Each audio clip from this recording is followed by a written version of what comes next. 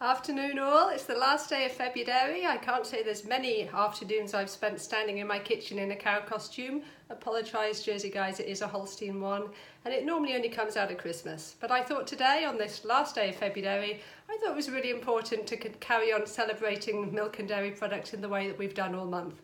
Positive posts, tweets, photos, videos, both telling the true story of dairy farming and celebrating just what it is we love about everything dairy.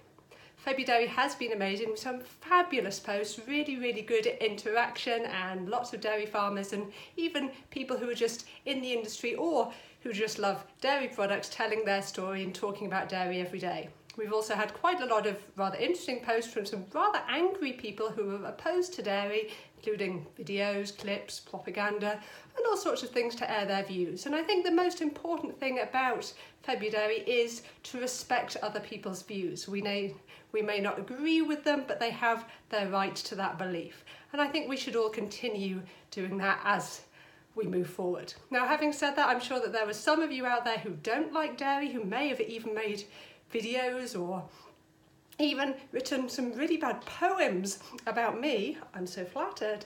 And I'm sure you'd like to use this opportunity to use this video to take the mickey a little bit. Well, while you do that, just remember there is a reason that you've been blocked by Bovidiva and it's not because of your rational discourse. So anyway, as I say, this is part of the hashtag Milk Pint Challenge, but I thought it was rather a shame not to celebrate all of the fabulous dairy products that we all have access to every single day. So for example, we have butter on red here.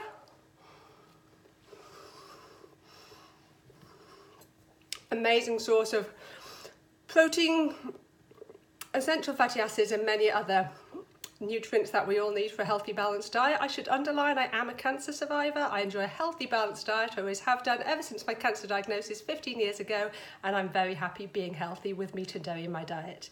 Thank you. Oncologists give the best nutritional advice. So moving on from butter, we have cheese, lots of milky mozzarella. We have yogurt. Hmm yogurt and cheese makes a really interesting mouthful. I'm not entirely sure I'd recommend it, it's pretty good.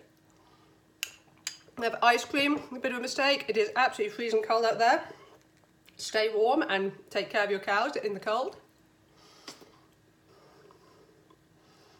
Again, chocolate and dairy, double whammy.